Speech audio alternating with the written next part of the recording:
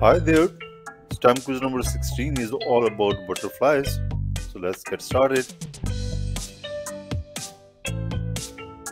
Question number 1 How many legs a butterfly has?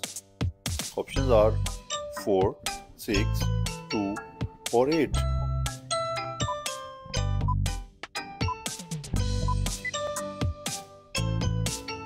The correct answer is a butterfly has 6 legs.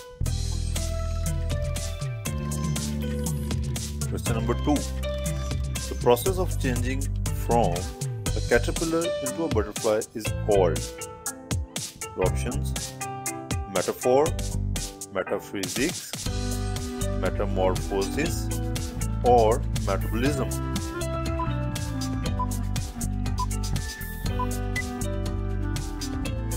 Yes, the correct answer is metamorphosis.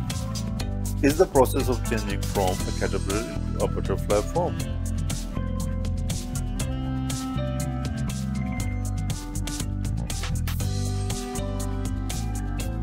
Question number three. What do butterflies eat? Options are honey, leaves, juice, or nectar.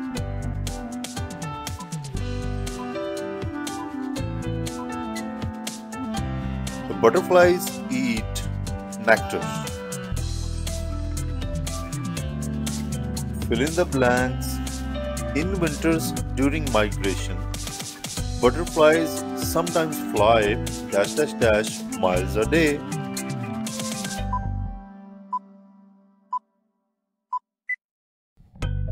Okay, the answer is 80 miles a day.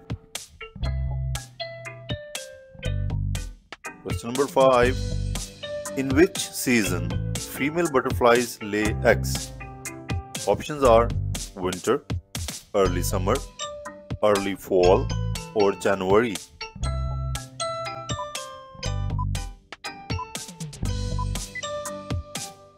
Correct answer is early summer.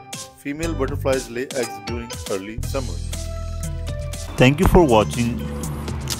See you again with another interesting set of questions.